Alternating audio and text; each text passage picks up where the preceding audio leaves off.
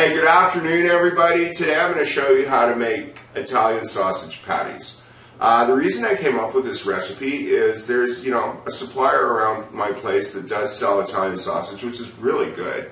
Uh, but the price I'm getting is like 18 bucks a kilo, which I find is a little high uh, considering the cost of the ingredients. So what I did is I, you know, played around with the spice mixture until I hit it the way I like. And of course, you know, it, as with any spice product, if you want to change the proportions a bit, feel free to do so. Uh, but yeah, like I said, I got tired of paying like three bucks a sausage, and this does work out a lot cheaper. So for the meat, what you're going to need is a ratio of two to one of lean ground pork to extra lean ground beef. And, and um, the pork that you're going to buy at the supermarket, it says lean, it's still a little greasy, but it's easier to get. If you can get to an Asian market, they usually have very lean ground pork if you want a really lean sausage. But I'm going to warn you, if you're going to do that, the patties will probably stick in the pan, so you'd have to use non-stick, or you can just grind your own, okay? For the spices, uh, you're going to need this,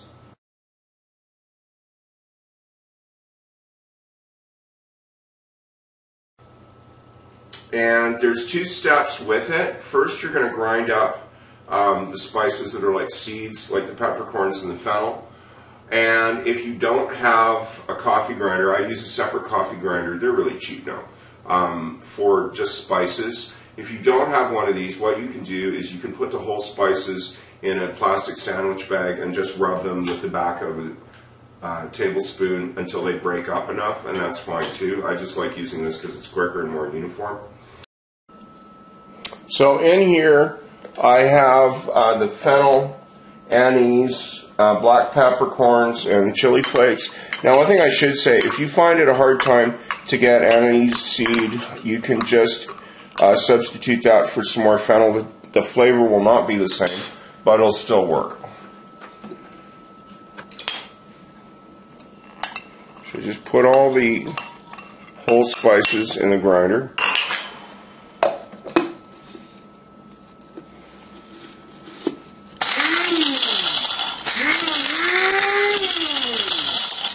Give that a few pulses.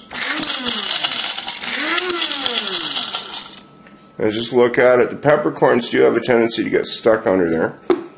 But you do want them all broken up. Yeah, there's one or two in there uh, that are not broken up, so I'll just give it a one more whiz. And you got to be careful about that. Some of this, you can lose a bit of this. But a little bit of these spices does go a very long way, so I would be really judicious about uh, doubling quantities and things like that. Once you've added the powdered spices to the ground spices, um, add your quarter cup of vegetable oil and give that a really good mix. And one thing I should say, I did calculate the price out. Uh, and the meat cost on this works out to 840 worked out for me to 840 a kilo. So it's less than half price.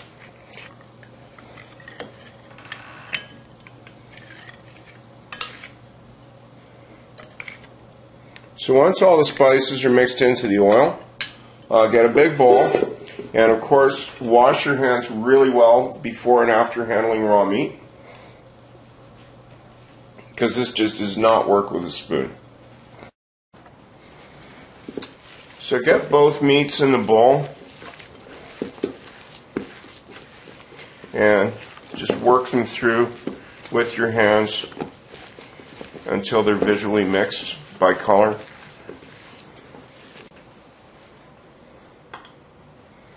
Once that's done, add all the spice mixture with the oil.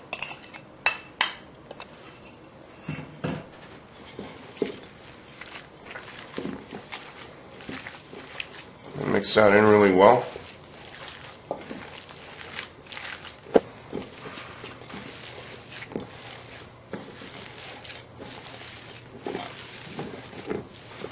So when the color looks even, which is a nice part about using a dark spice mixture, because you can tell visually when you're done. When the color looks even, grab yourself a large Ziploc bag and put the meat into that.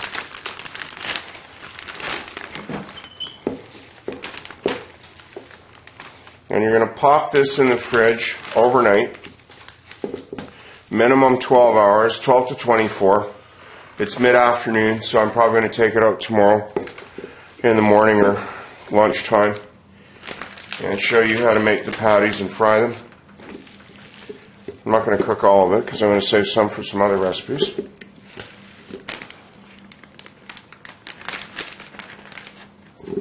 Now, this can be frozen if you want.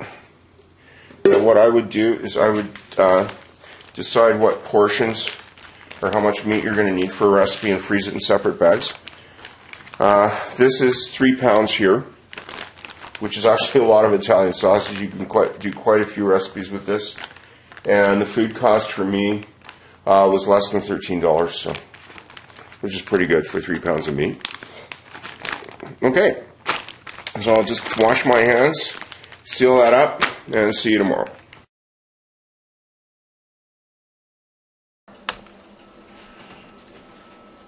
Good morning again. It's now the next day. It's around noon my time. So this has been in, the sausage meat has been in the fridge for a little less than 24 hours. So I'm going to visually take out about a pound of this. Okay. And I'm going to be making three burgers or patties. Um, so I'm just going to visually divide this first into three. It doesn't really matter, just sort of pinch it off. Okay. I always prefer using a plate to a cutting board uh, for this kind of stuff. You can weigh these if you want, but it's not really that critical. Okay, so if you're not used to having made patties or burgers by hand before, this is a simple technique. What you do is just grab the amount that you're going to use, roughly form it into a ball, like it's a big meatball Press it down between your hands, the palms of your hands, and then using the thumb, if you're right handed, use this thumb, and if you're left handed, use that thumb, doesn't matter. Okay, so what you're going to do is you're going to press it and you're going to turn it. Okay? Until you've got a nice uniform shape. If you have any pieces that are going to start to crack, just push them back together. Once it's round, you just push it flat with even pressure turning it a bit, okay, till it's as thin as you want. And then just do that with your thumb again, using the other hand to turn it until they're just the way you want them. And that's one done. And I'll just do the other two quick.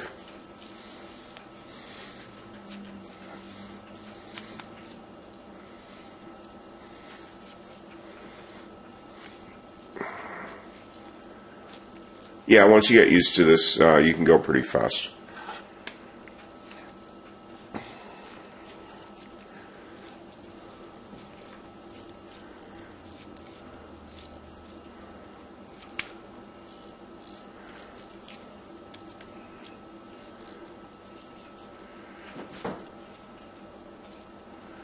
Okay, done. Next thing, heat up your pan.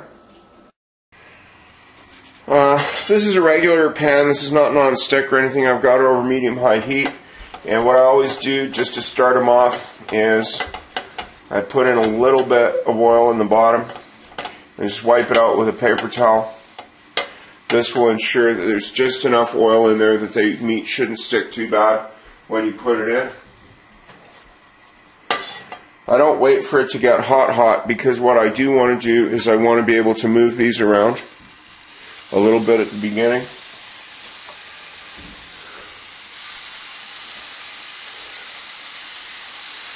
Yeah. See, even now they're sticking just a bit. So what I will have to do is wait for them to give off enough grease that I can turn them without breaking.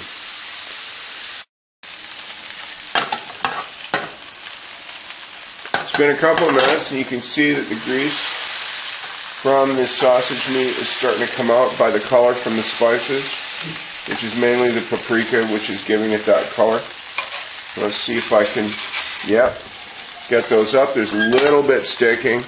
Now what I always do is I just lift the patty and tilt the pan so the grease goes over the stuck part so it sticks less that way. If you put it back on dry, uh, it's just going to stick more. So I got that up. Roll the grease over the dry bit and turn that again. These are looking like coming out quite nice. Now, if it sticks when you drop it like that, just let it sit for a bit. Move the other one over if you can. Make a bit more room. Just don't try to move it right away or it may break.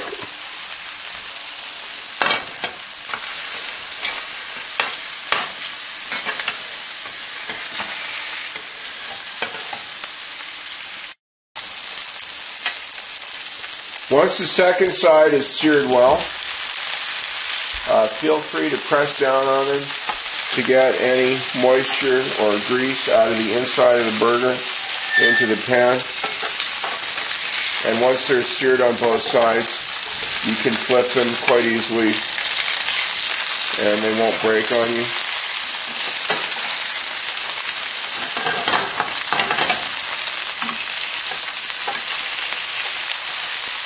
Yeah, and at this point, what you basically do is just keep a close eye on them and just keep flipping them until they're cooked to your desired degree there. I personally always cook these till they're cooked all the way through, well done.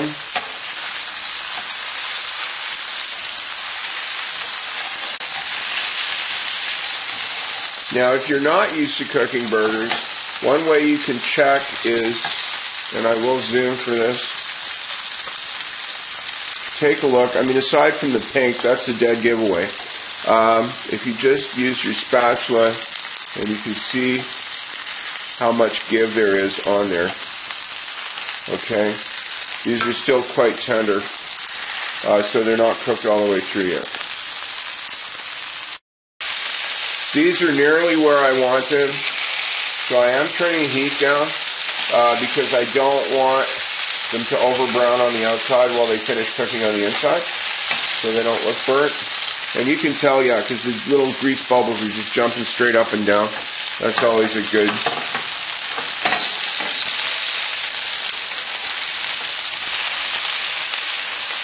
And for any viewers that are concerned about the amount of grease in the pan, well, remember it's in the pan and it's not in you. So there is that. As you can see from the spatula test, they're a lot firmer than they were the first time I did this. And I'm having to push down quite hard to get them to uh, give it all, which means they're nearly done. These are pretty much cooked. So I'm going to turn the heat off and just take one out and cut it open and show you. Now this I just drain on the side of the pan. If you put it on paper towels, uh, it'll stick.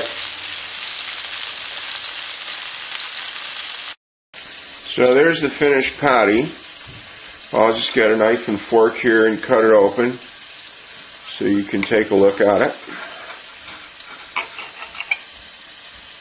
Yep. So that's cooked all the way through. And let me give that a taste. Mm-hmm.